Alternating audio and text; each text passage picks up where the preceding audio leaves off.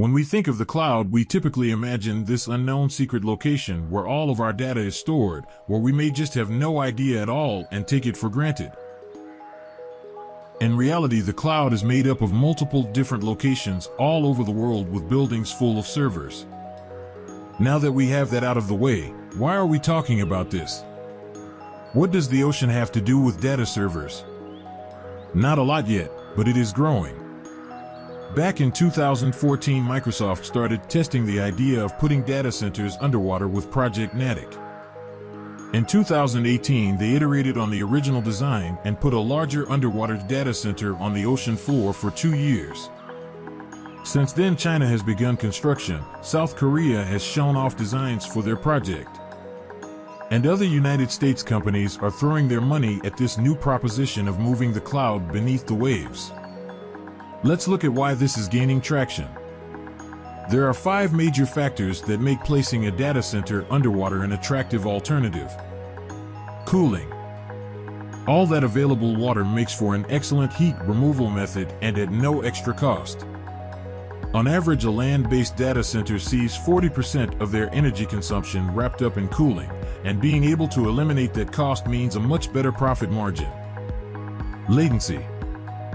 With around 50% of the world's population living within 120 miles or 200 kilometers of a coastal region, having data centers offshore allows quick response time to and from its users. Time to market. The time to build and deploy an underwater data center is far quicker than on land, meaning quicker access to the servers and ability to make money faster. On land, it can take anywhere from a year to 18 months to build a data center. Microsoft was able to have theirs operational in 90 days.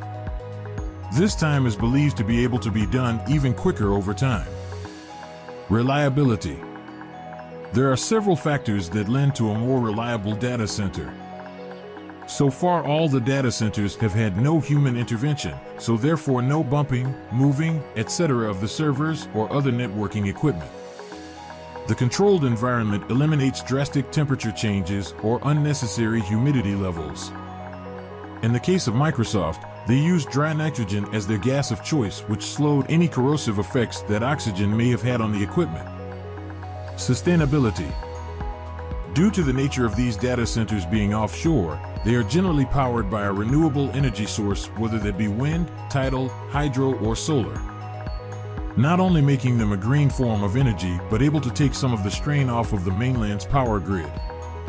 Also due to the fact they are cooled by the surrounding water, these data centers are not having to use local water sources for cooling, which has been an issue in the past years for data centers near the west coast of the United States. Data is not slowing down, and companies like Microsoft, Amazon, Google, and others are only getting bigger and needing more and more storage space for all of the pictures, videos, and business applications that we use on a daily basis. So, is the ocean the answer to this growing problem? There has been talk by some of a new blue revolution, or blue economy, where businesses shift operations and look towards the ocean. Data centers may be on the first wave adopting this new frontier. For more information about this or other underwater habitats, contact ASC at AtlantisSeaColony.com.